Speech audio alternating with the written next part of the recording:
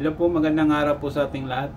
Lalong-lalo na sa ating ah, followers, sa ating ah, grupong Marinero Makinista, ah, sa ating ah, Buhay Makinista page, sa ating ah, YouTube channel. Muli po ang iyong lingkod, si Engineer Litada ay magbabahagi na naman po ng ah, panibagong ah, kaalaman o idea doon sa mga baguhan at sa mga gustong ah, matuto na katulad kong ah, makinista.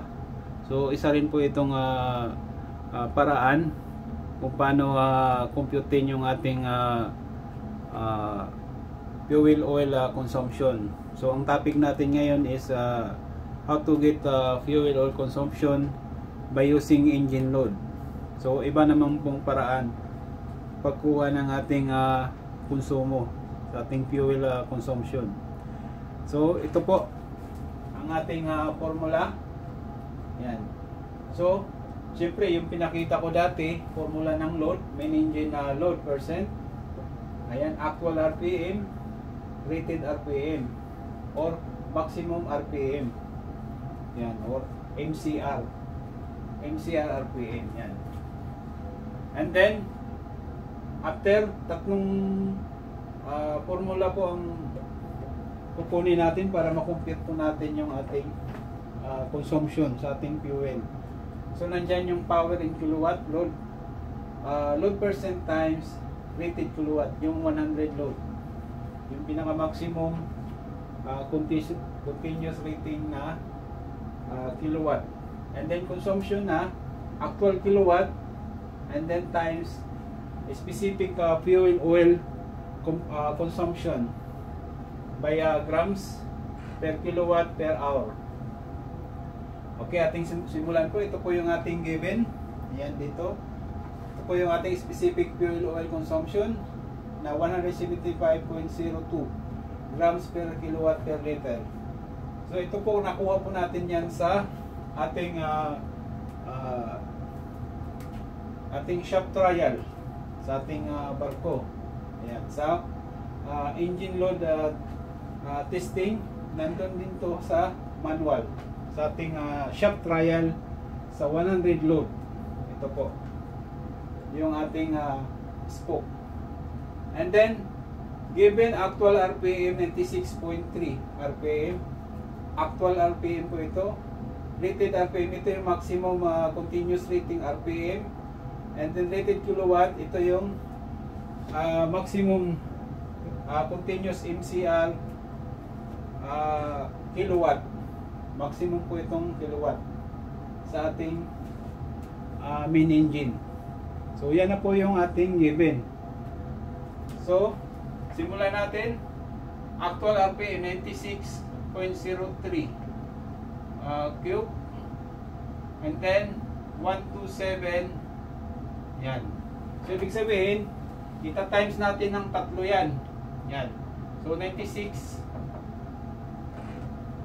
96.03 times 96.03 times 96.03 and then yung ating sagot is 885,000 uh, 565 0.70 Ayan na. And then dito naman sa 127 times 127 times 127 is uh, 2 million 04 48,383 yan. And then i-divide natin. I-divide natin yan. Ang sagot is uh, 0.4323 percent yan. So hindi na natin uh, i-times natin sa 100, it means 43%. Pero hindi na natin i-times kasi i-continuous natin yung ating uh, ayan, load. So kukunin natin 4323 times rated kilowatt. So rated kilowatt is 9480 kilowatt. Okay, and then sagot times uh, 0. Point, uh, ulitin ko ha 0.43 23 times uh, 9,480 kilowatt so equals 4,000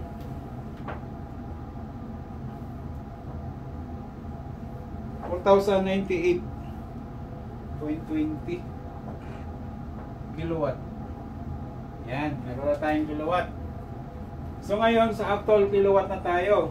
So lalagay natin 4,098 uh, 0.2 kilowatt yan ha. So lalagay natin yung value. Yung stock naman natin so 175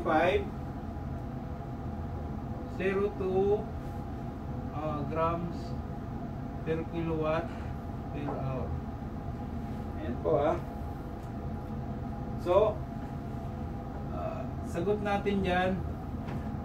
Ayan.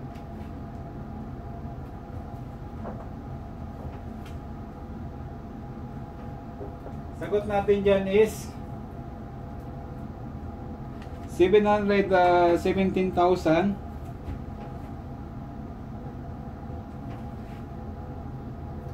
266.96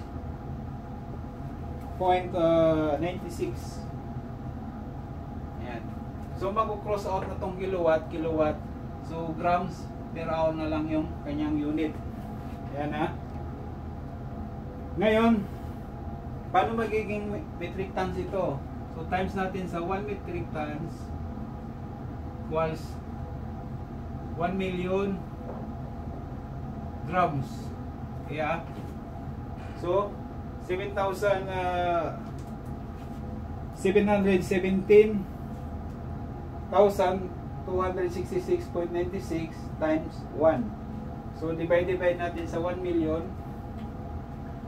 So, sagot is uh, 1 is 0 0.7 173 and then mag, uh, mag-cross out na natin tong grams. Yan. Yung grams niya hours na lang. Uh, metric metric tons per hour. Yung kanyang unit. And then para maalis natin yung hours i-times natin sa 24 one day 24 hours. Yan. So ang ating uh, sagot dyan 0.7173 metric tons times 24 equals 17.22 metric tons. Yan per day. Per day na ito. Per day. Kasi ang 24 hours one day yan. so ito na po yung ating uh, consumption. Yan ng ating main engine. So consumption lang po ito ng ating main engine. Ayan po ha. So ayan po, ganyan lang po pag pagkuha ng ating uh, fuel consumption gamit yung ating uh, main engine load. So sana po nakapulutan niyo po ng uh, aral. So ulit-ulitin niyo lang po panoorin para uh, hanggang sa makuha niyo po paano po mag-compute. Muli sa ating uh, part 2, papakita ko naman po yung pag-compute sa ating uh, consumption sa pamagitan naman ng kilometer sa cubic uh, volume tapos corrected uh, specific gravity and then consumption. So, yun, yun naman ang isang paraan para uh, makuha yung ating consumption. So, makikita natin doon kung ano ang uh, pagkakaiba. Pero, halos the same ang result halos magkaparehas yung kanyang uh, result. Tandaan nyo to, 17.22. So, dapat ganyan, hindi lalayo dyan yung ating sagot sa part 2. Yan. So, isusunod ko na po siya.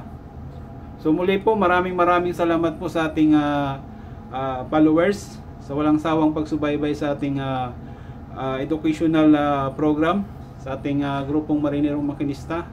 So, mabuhay po tayong lahat.